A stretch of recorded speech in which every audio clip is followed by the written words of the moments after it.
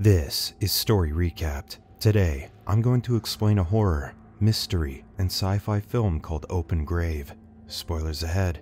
Watch out and take care. In the darkness, a man gasps in pain as his bones seem to be snapping back into place. In his pocket, he finds a lighter and a set of keys. He lights the lighter to inspect his wounds and his surroundings. He finds corpses scattered all around him and a woman looking from above. The man begs for her help, but she moves away. The man feels something on the ground and picks up a gun. Suddenly, the woman throws a rope for him to climb on. After escaping, the man stumbles around a forest until he spots a house. Inside, he overhears the people debating on whether or not to help him. With his gun drawn, he meets the occupants Lucas, Sharon, Michael, and the mute woman who helped him out of the pit. Immediately, Lucas aims a shotgun at the man. The man accuses Lucas of killing the people in the pit, but Lucas shoots the accusation back at him. When asked who he is, he claims that he doesn't remember. Suddenly, the body behind Lucas screams in pain. Sharon helps the man, Nathan.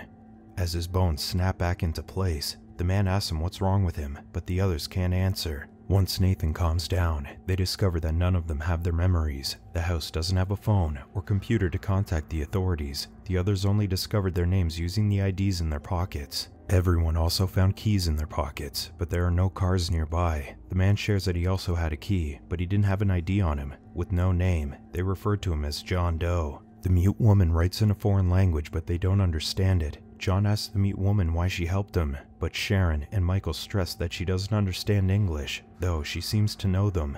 The group woke up in the house before John, and the mute woman was already there. Lucas remains suspicious of John as he's the only one who woke up in the pit and even found a gun there. The group checks the house for clues. The mute woman points out that she and Lucas have the same bruise on the crook of their arm, but she can't explain why. John and Nathan find the pantry where weeks worth of food is stored. After spotting something on the fridge, John fetches the mute woman for her to explain it, but Michael calls everyone before they can understand her. After the men leave, the mute woman stares at the calendar on the fridge, where April 18th, the day after tomorrow, is encircled. Downstairs is a cabinet full of guns and ammunition. When Michael effortlessly loads a gun, Nathan deduces that he's a cop. Later, while tending to his wound, John momentarily sees a glimpse of his past. The mute woman suddenly runs into the woods, so Lucas, Sharon, and John search for her. Lucas wonders if the mute woman is leading them into the city, but Sharon points out that the stars are too bright, meaning that there isn't a city for miles. While walking, John recalls a memory where he seemed to be dragging a body that had a seahorse tattoo.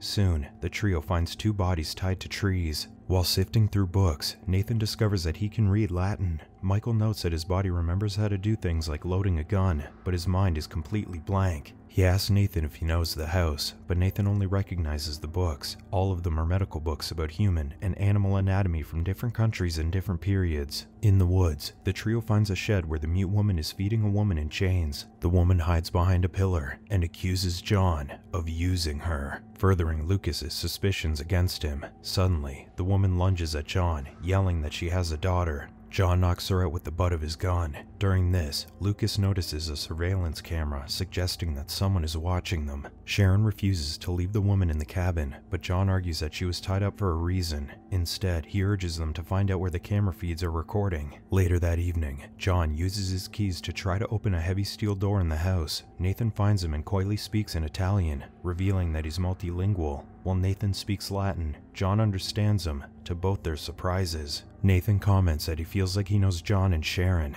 When John wonders if he can open it with a crowbar, Nathan points out that he can't because it's a reinforced door. Nathan then questions where he found the keys, and John claims that he found them in the living room. John suspects that Nathan knows what's behind the door. In the morning, the group discusses how to escape. Michael refuses to obey Lucas, claiming they need him more since he's the best shot. To prove his skill, Michael throws a cup and shoots it in midair. Still, Lucas demands him to stay and guard the house. Lucas, Sharon, Nathan, and John head to the forest to find a way out. Soon they discover another body tied to a tree. Lucas is repulsed by the body's scent and hurries away. John points out that more bodies are scattered in the area around the house, and Sharon wonders if they're meant to be a warning. At the house, Michael stresses that it's his job to protect them all. Michael sees that the others are smart, unlike him, but he believes that he's meant to do something. He then approaches the mute woman, feeling that they have a connection. Suddenly, they hear a scream from the woods. Michael warns the woman to stay and lock the doors while he investigates. Outside, the group reaches a dirt road. As they head down the road, Nathan throws rocks around to pass the time and hits something metallic in the woods. The group inspects a stack of branches and discovers two cars inside. Meanwhile, Michael finds a man trapped in a barbed fence. The man begs for his help as the spikes pierce his body. Carefully, Michael attempts to free the man's legs, allowing the man to wrap his neck with the barbed wires before stabbing him. The deranged man's laughter slowly turns into sobs. He then begs Michael to help him again. On the road, one of the cars starts but has little fuel, while the second car's battery is dead but has more fuel. Sharon switches the radios on, but when it emits a high pitched sound, Lucas turns it off since it's giving him a headache. John is hopeful that they can drive out of the woods, but Lucas refuses to take him. In the glove compartment, he finds an old photo of the entire group without John. John argues that he could have been the one taking the photo. Lucas then points out that they're in the middle of nowhere, so driving will just waste fuel. While heading back, the mute woman collects the rest and takes them to the man in the fence with Michael at his feet. Michael is still alive, but choking on his blood. Sharon desperately attempts to mend his wound, but he soon dies. Suddenly, the man in the fence screams, so John shoots him. This triggers John's memory of beating the tattooed woman and dragging her across the woods. Later, John pushes the other car while Sharon is on the wheel, successfully starting it. Minutes later, they find an abandoned building with the number 18 written on the gate. While looking in a mirror, Sharon spots a child running behind her. They search for the child and find him inside a locked shelter. John tries to convince the boy to come out, but the boy calls him Jonah and warns him that they will be coming tomorrow. At the house, Lucas starts seeing flashes of his memories, where he's running in the woods and caged in a cell. He then sees the mute woman's face, confirming that he knew her in the past. He grabs her hand tightly until Nathan pries his hand away. At the building, the boy threatens the adults with his anger dog. John shoots the lock on the door despite Sharon's protests. The boy continues to yell for them to run, and all the noise drives Sharon to the edge. John continues to break the door open, believing that the boy knows his true identity. Sharon finally calms him down, and it triggers a memory between them. To figure out what's going on with Lucas, Nathan asks the mute woman about the woman in the shed, so she takes him to her. When they get there, however, the woman has escaped. Upon finding a lake nearby, Nathan insists on following where it leads, but the mute woman blocks him. Still, he pushes on alone. As he walks in the woods, Nathan recognizes a path and follows it until he reaches a small abandoned village littered with dead bodies. When he finds a pair of glasses and puts them on, he remembers the group's voices arguing, hinting that they did something terrible. The mute woman returns to the house and sees that Lucas is up. He hints that he remembers something, so the woman runs away. Lucas weakly follows her, promising that he won't hurt her. He hears her inside the locked reinforced door, but she doesn't let him in. The mute woman climbs into the attic where she hides. Outside, Lucas discovers a door to the basement, where he finds medical tools and human brains. There are also monitors overseeing several jail cells. In the village, Nathan discovers one of the cells. He hears a woman crying in another cell and finds a woman from the shed, carrying her daughter's body. Nathan recognizes the woman as Helen.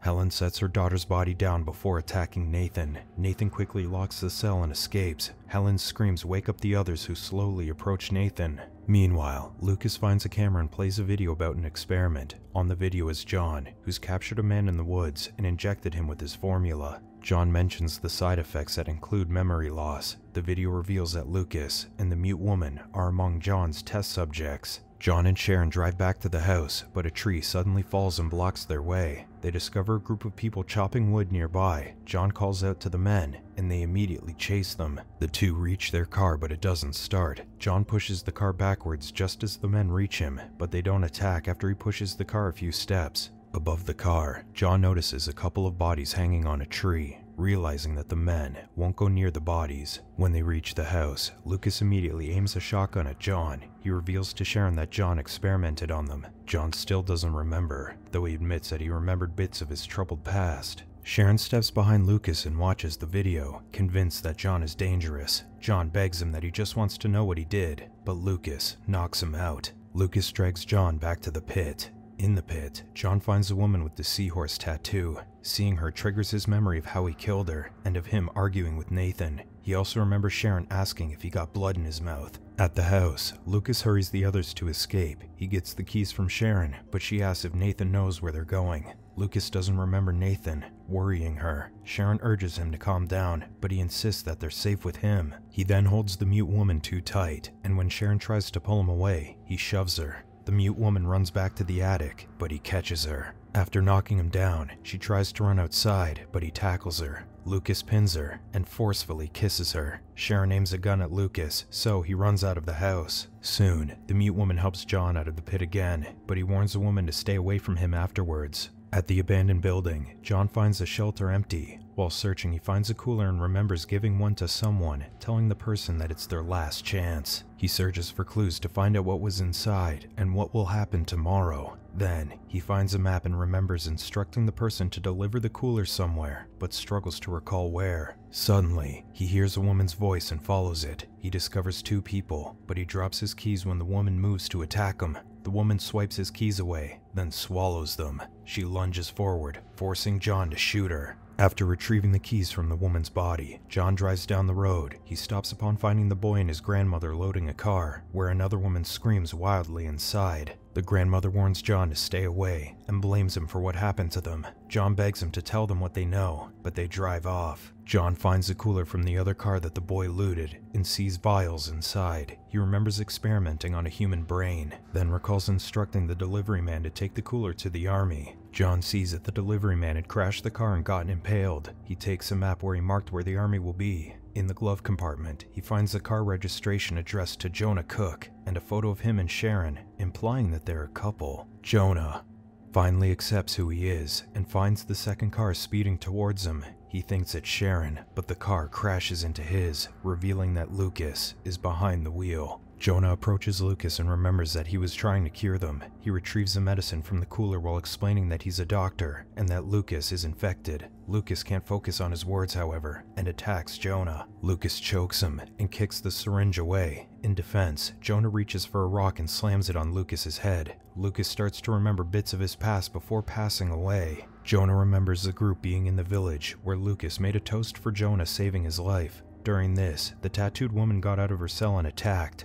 Jonah killed her, then blamed Nathan for not locking her cell. Their argument reveals that Nathan is Jonah's brother. In the woods, Nathan cries as he remembers the same thing. He then runs, searching for Jonah. Instead, he finds Sharon in the house, aiming a gun at him. Their memories slowly return, so they lower their guns and embrace. Their moment is interrupted when the infected people attack the house. Jonah drives back to the house, remembering how he got to the pit. While hauling the tattooed woman's body, they received a radio transmission that the area was getting attacked. Jonah radioed Sharon to inject themselves with the cure to prevent the infection, despite the cure not being thoroughly tested yet. Suddenly, an infected man pushed Jonah into the pit and bit him. Jonah injected himself with the cure, knowing that he'd lose his memories. The car breaks down near the house, so Jonah hurries on foot. Nathan and Sharon shoot the infected from the windows, but soon run out of bullets. Sharon writes a letter for Jonah in case they don't make it. Jonah runs through the woods, recounting how they tried to make a cure for the plague. At dawn, a helicopter arrives. Suddenly, the infected people are killed outside the house. Nathan remembers that the rescue team is supposed to arrive on the 18th, so he opens the door, calling for the team to collect them. The mute woman watches Nathan from the attic as he goes to the woods. He stops when a soldier aims a gun at him, and Nathan realizes that the army isn't there to rescue them. Jonah arrives just in time to see his brother get shot. Jonah and Sharon hide in the woods upon seeing Nathan killed. Jonah runs to Sharon, and they escape together. Meanwhile, the mute woman hides in a ditch. While running, Sharon gets stabbed by Helen. Jonah shoots Helen, then attempts to save Sharon. Seeing the soldiers nearby, Jonah carries her to the pit and drops inside. Jonah injects them both to enter a death like state and convince the soldiers that they're dead. Sharon gives him the letter that she wrote and urges him to do it right next time. The couple kiss, and Jonah cradles Sharon as she dies. Jonah falls asleep right after. The soldiers eventually find the pit and throw all bodies over, including the boy. Hours later, Jonah wakes up with no memories again. He loses Sharon's letter, which would have revealed that they were doctors close to curing the plague that spread through the world. The mute woman is immune to the virus, so Sharon urged him to protect her. The mute woman soon helps Jonah out of the pit, but they soon find a larger pit with more dead bodies. Subscribe to watch more videos like this. Turn on notifications. And leave a like, it really helps the channel out. Thank you for watching.